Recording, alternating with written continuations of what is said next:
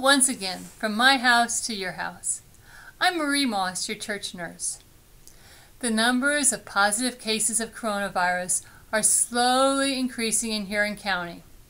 We are now up to 34 positive cases and one death. Actually, most of the cases are coming from the eastern side of Huron County. This week, Governor Whitmer extended the stay home, stay safe order until May 28th. We have, to, we have three more weeks of isolation. I'll have to tell you, that was hard for me to hear. I'm tired of this. I'm ready to get back to being with people again.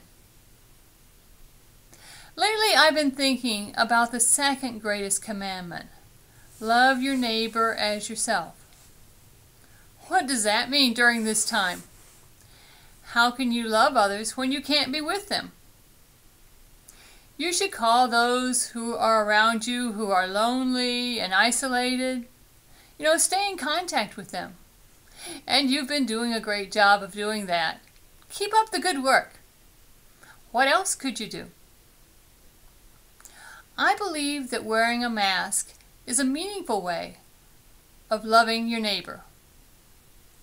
By wearing a mask, I am protecting those around me from my droplets. I, I don't think that I'm sick.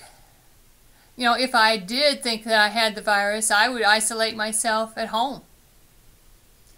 But many of the people who have COVID and who are spreading around spreading it around have no signs or symptoms of the disease.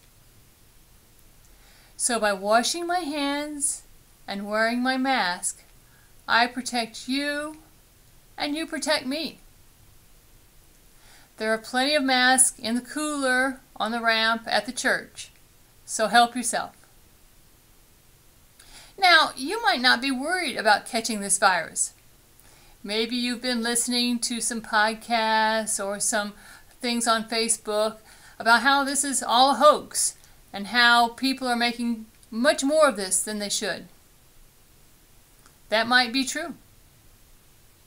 But I'd like you to consider Romans 12:10. It tells us to honor one another above yourselves. It is a selfless act to protect others from the disease. It's putting others' needs in front of our own. I protect you, you protect me.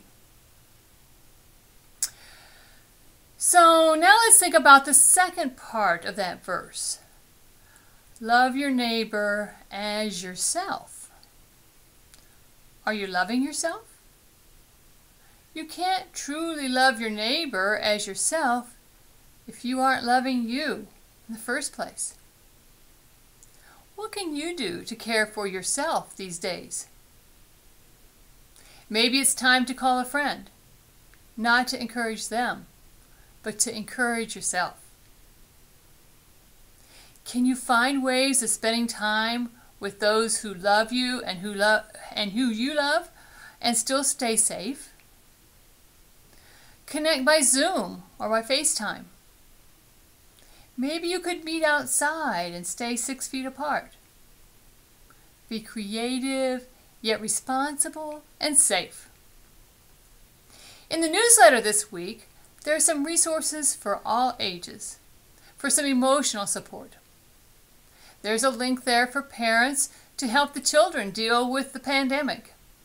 This has disrupted the children's lives in remarkable ways. There's a resource there that is especially for senior citizens. And then there's information for anyone to have a chat by text with a therapist. This is a hard time.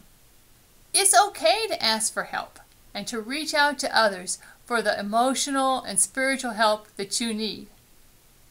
Because now, more than ever, it's time to trust Jesus and wash your hands.